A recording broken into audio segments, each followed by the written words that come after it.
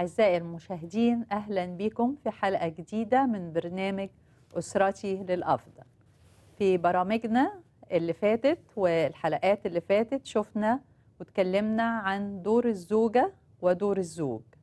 وأهمية كل منهم أنه ياخد مكانه علشان تسير الأسرة في رحلة هادئة في سلام. والنهاردة عندنا موضوع حساس وشائك شوية هو موضوع الخيانة الزوجية. بنرحب بضيف حلقتنا الدكتور فريد زكي. أهلا بيك يا دكتور فريد. أهلا بيك.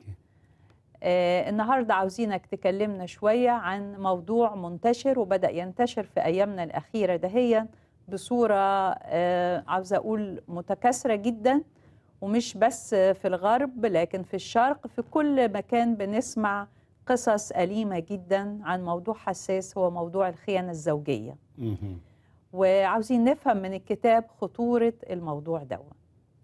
الحقيقة إنه الموضوع ده فعلا بيؤلمنا إننا نسمعه في أماكن كتير زاد جدا في هذه الأيام وأدى إلى انهيار زيجات كثيرة.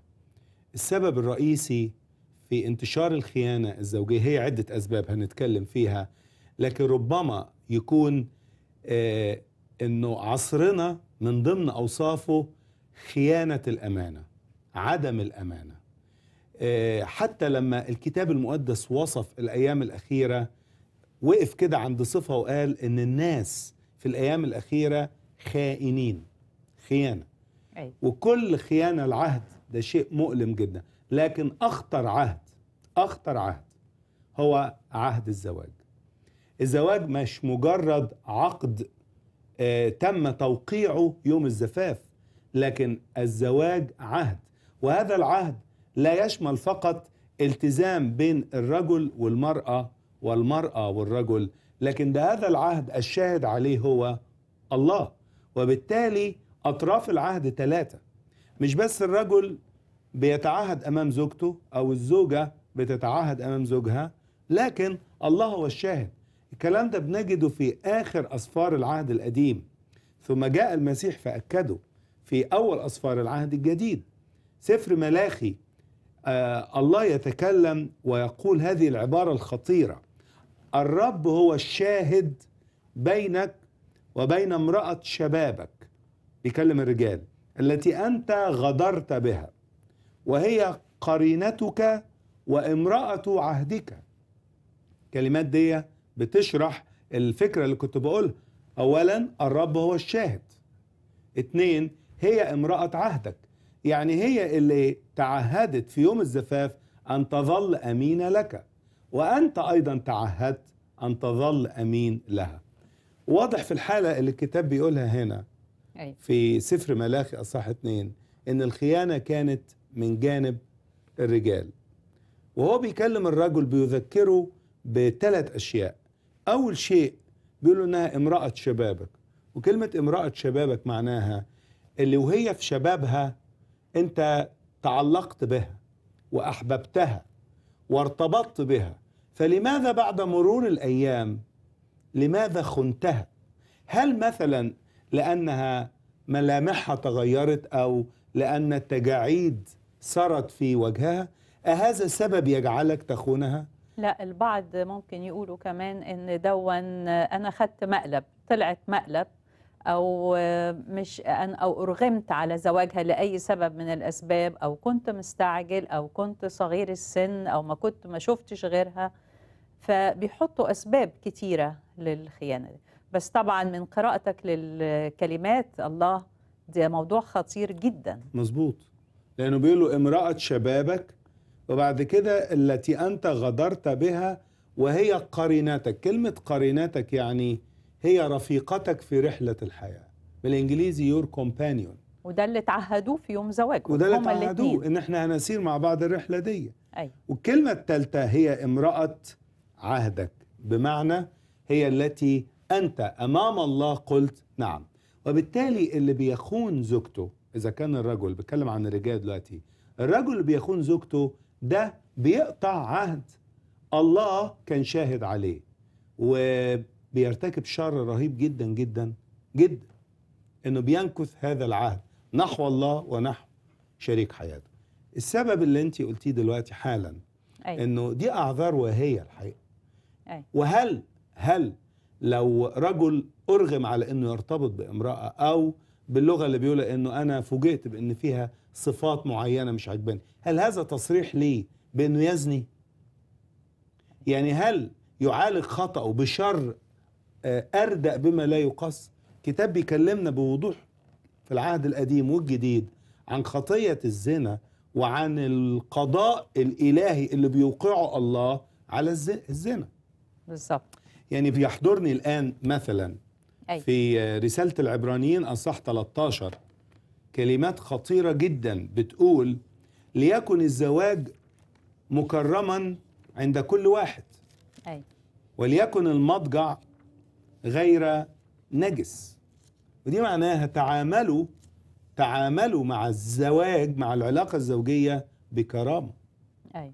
لا تدعوا أحدا يكلمكم عن الزواج إنه متعة جسدية وإنه ممكن تغير أو تجيب حد تاني أو تكثر من الزيجات ده شر.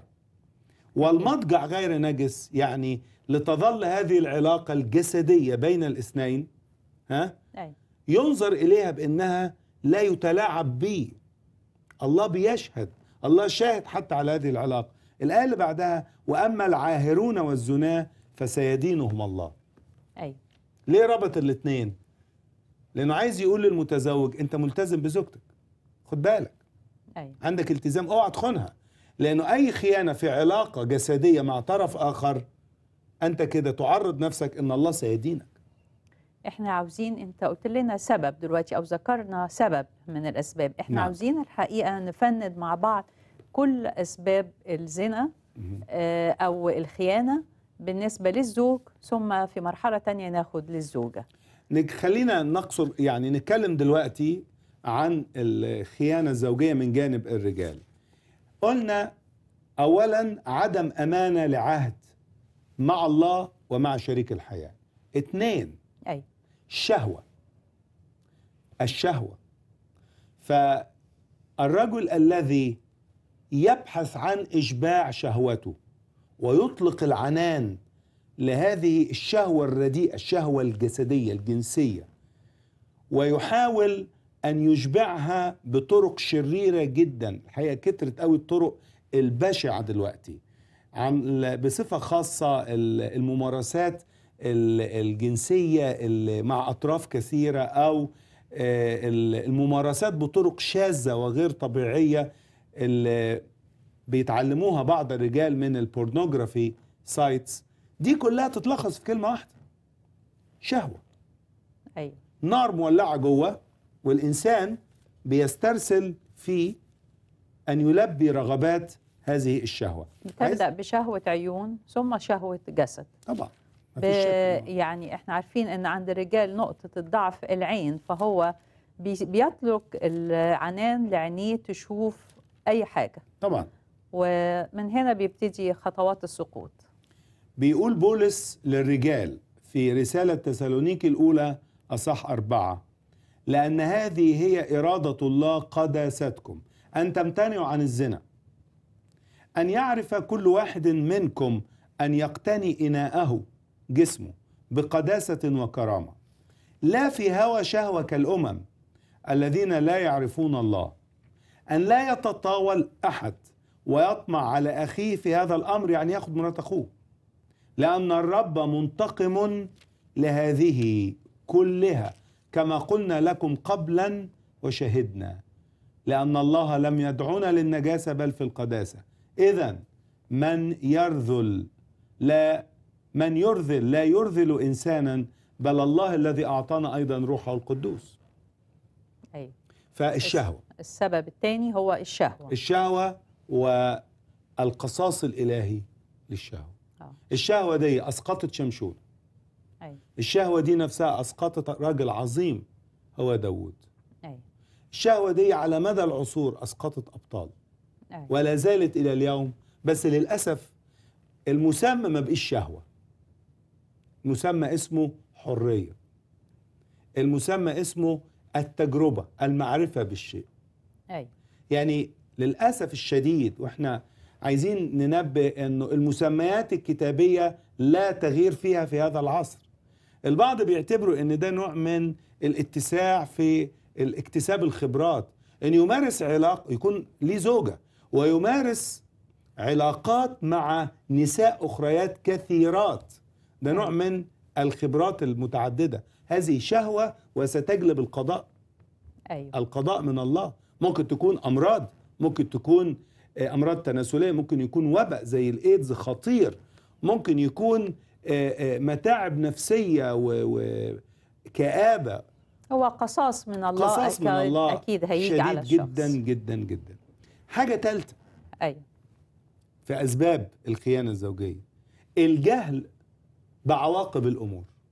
آه. يعني الشخص اللي بي بيخون وبيجري لإشباع شهوته هو بتحكمه لذة هذه اللحظة فقط. يحسبون تنعم اليوم لذة. أنا عايز أتنعم دلوقتي. دون حساب للعواقب اللي هتيجي في إيه بعد, بعد كده. كده؟